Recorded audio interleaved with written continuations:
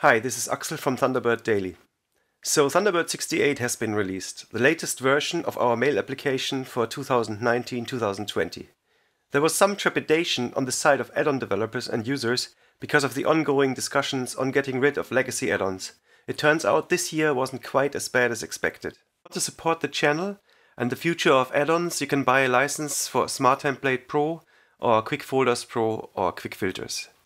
There's also a cheap Smart Template standard license for those who want only basic features. For companies, I also created a domain license option. Thankfully, there has been a lot of discussion and development on how to save this important functionality, at least for this time round. The Thunderbird development team came up with an ingenious method of wrapping a legacy add-on within a web extension script so that it can at least be installed. Then we, the add-on developers, could start to fix what would be broken by the update. There were numerous important changes this time round, many more than last year when Thunderbird 60 landed. This is mostly caused by the library Mozilla Central, which delivers the core functionality of the Firefox web browser and HTML viewer, and which Thunderbird uses to display both emails and also its own user interface. Since Firefox already completely abandoned legacy add ons last year, they didn't feel obliged to keep any of the technologies that these depended on.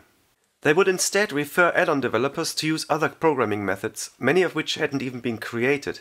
This is the reason why so many browser extensions were abandoned after Firefox 54 came out. In order to realistically add a new API to Firefox, the add on developers would effectively also have to start engage in the programming of the app itself, which is a highly specialized skill, and much of it is in a different programming language. C++ instead of JavaScript. Luckily, the Thunderbird team and a bunch of interested people on the Thunderbird planning mailing list were a lot more proactive in creating and documenting viable workarounds. So, in a nutshell, we were now able to convert many add ons, smaller ones in a matter of days, larger ones took a few weeks to fix. I will link an article with a list of necessary compatibility changes for extensions in Thunderbird 68. Since I have started to work on Thunderbird extensions full time for the past months, I was able to convert my main add ons, Quick Folders, Quick Filters, Smart Template 4, and Zombie Keys to, which means a solid product for another 12 months. As I am making sure the extensions run in the last ESR version and the new one, the transition for my own users will be seamless. But one of the most crucial add ons that I use every day is stationery. It supplies the ability to use external template files as stationery or form letters when replying to or writing emails. I had collaborated with its author Arivald before, but try as I might, I could not get a hold of him for the last eight months. I even tried converting stationery myself, but I had to give up because it was just too much of a time investment. Since my add-on Smart Template supports adding form fields within stationery, instead I decided to add the feature of loading these HTML files myself. The good news is that the UI is pretty much identical to stationery. You click a drop down on the reply button and select the template. So it is pretty much a single click operation which will load the template, can fill in the salutation, date, and add proper quote headers, and use premium functions such as searching through the body and subject of the quoted mail to retrieve data for the reply. Having all these functions in a specific reply for each different need saves me hours of work every week when doing support mail. Thus, I am very keen to continue supporting this important function with the new Thunderbird without the stationery add-on. Here's a quick demo on how it works. If you haven't done so yet, install Smart Template 4 from thunderbird.net. I will leave a link in the description. After restart, you will see little drop-down arrows beside your write, reply and forward buttons. If you're used to stationery, you will already be familiar with them.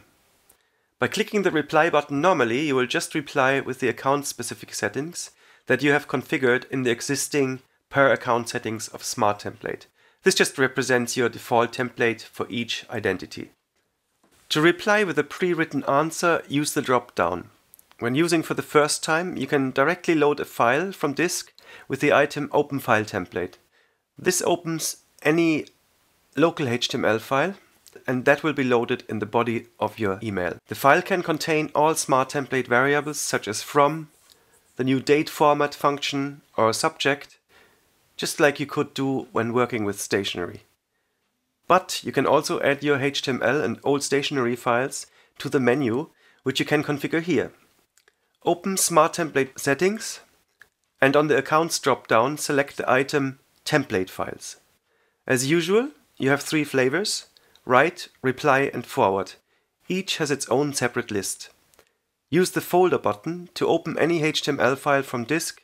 You can then edit the menu title and click Add. Once you close the Smart Template configuration window, the template has been added to the drop-down on the Compose button. If you previously had stationery files set up, you can just add them to the three individual lists and keep on working as you're used to. This wasn't exactly an easy feature to implement, but I think it was well worth the weeks I worked on it. It's still fresh and it will likely be improved. As you may notice, Smart Template has now a paid standard license. Without this, we would neither have Smart Template in Thunderbird 68 nor any of these new features. Because it takes time and effort to program these, and my family cannot live off welfare, I had a few contentious reviews because of this step, which tried shaming me into giving away that work for free, but it's just not possible. The free as in beer route is what you have got with stationery and other such complex add-ons. They stop working. People cannot be expected to do difficult programming work for nothing forever. I myself have been working on Smart Template for, for 7 years and on Quick Folders for now over 10 years and I haven't got time for another full-time job. I have seen many add-ons abandoned over this time and that's why I'm encouraging other add-on authors to also monetize their work. I know I could make a whole drama channel just on all the discussions on the fights we have about keeping the app compatible with add-ons and the criticism about wanting payment for hard work, but I think I'll leave this for another video. In the meantime, we have set up a bi-weekly meeting with add-on developers and Thunderbird core people to discuss how we will move forward. If you are an inspiring mail extension developer yourself, make sure to hit me up for details.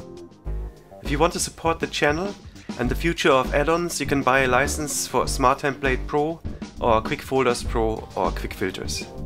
There's also a cheap Smart Template standard license for those who want only basic features. For companies, I also created a domain license option.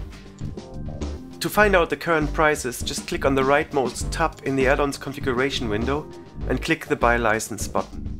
This will show an overview window with options which will jump directly to the webshop. I usually do time-limited bargain offers when I release a new version number of my add-on, which you can see in the changelog that I display on Update. So make sure you don't miss that. There are always new features that add more value and sometimes there's a video. You can find the download link for Thunderbird 68.0 in the description. If you are on Windows, maybe think about switching to a 64-bit version.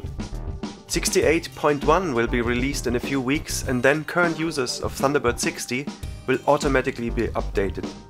Make sure to back up your mail profile in case you want to roll back. Thanks for watching my video, please help my add-ons by getting a license and leave some comments below.